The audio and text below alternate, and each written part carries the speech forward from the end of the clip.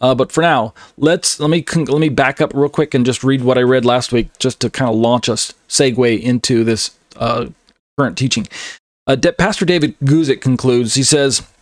Jesus came to introduce something new, not to patch up something old. Again, notice he's launching from the part of the parable that talks about the old patch and new patch, sewing a, a patch, I'm sorry, old, old, a new patch, old cloth, sewing a patch onto a new cloth. And of course, in Jesus' example, we can see from common sense that there's going to be some problems. All of these examples are taken from everyday common sense examples that people in that day would have readily and easily understood.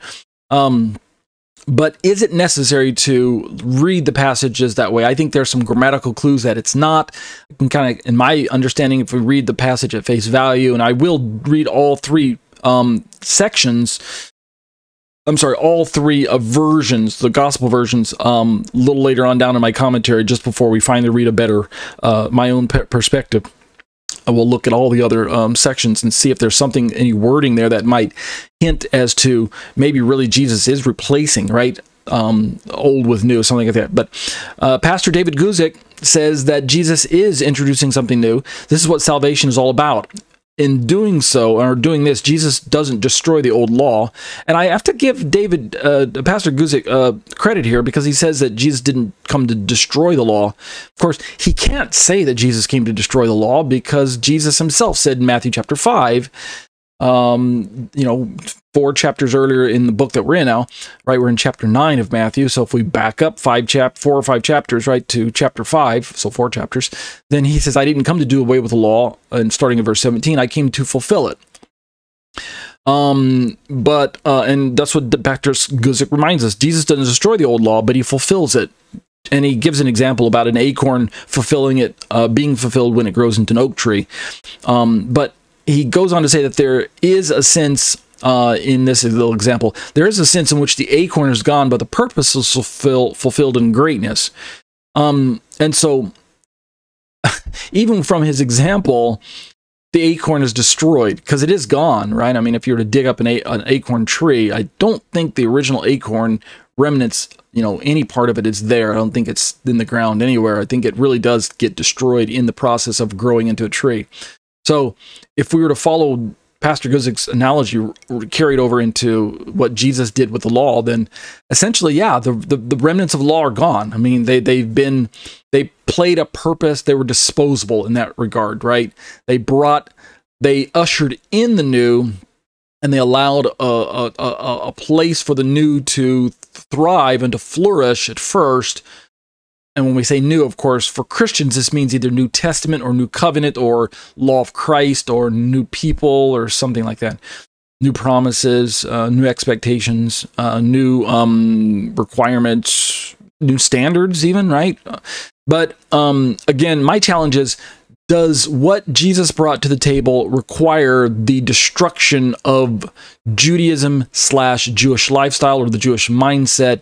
You have to remember that biblical Judaism was rooted in the commandments that God laid down at Sinai and the development of the halakhah and the and the um the policies that had developed later on through the prophets in the time periods of the Old Testament of the Tanakh up till the time of Yeshua. And so when Yeshua hit the scene, we already had an established religion known as Judaism or Judaisms, right? Uh, owing for the different types of denominational expressions of Judaism.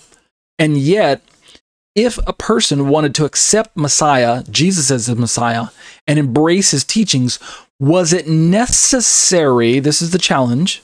Was it necessary to throw out all of those old standards that one was already raised with as a Jewish person, as a religious Jew, or even a, a common Jew? So really we're asking the question not really is Judaism and Christianity are these two religions incompatible with one another even though that's the name of the study? My challenge really is is the Christian lifestyle and the Torah lifestyle incompatible with one another? Would Jesus endorse that question or that challenge? Of course you guys have been listening to my commentaries for, and my teachings long enough to know that I answer in the negative. No they are not incompatible with one another it's not necessary to leave Judaism behind as a Jew if you want to embrace Jesus. And the proof is right in the scriptures. all of the first disciples, all of the first apostles, continued to live a Jewish lifestyle and follow after Messiah. Right? Paul's a good example, right? He didn't abandon Judaism despite what you read in Galatians chapter 1 his former lifestyles, former manner of life in Judaism, things like that. We could talk about that on a different day. But the point I'm trying to um, bring up and make is that according to the book of Acts, chapter 21, there were thousands of Jewish people, religious Jews, zealous Jews, and they were all zealous for the Torah, right? They were believers in Jesus and they were zealous for the Torah. This would be a problem if the current um, um, mindset fostered in Christianity, held in Christianity, that Judaism needs to go. If this is true, if pastor what past of the what these fine men of God that we've been reading about, if, if what they're saying is is you know uh, entirely the most accurate way to look at these things. So let's continue looking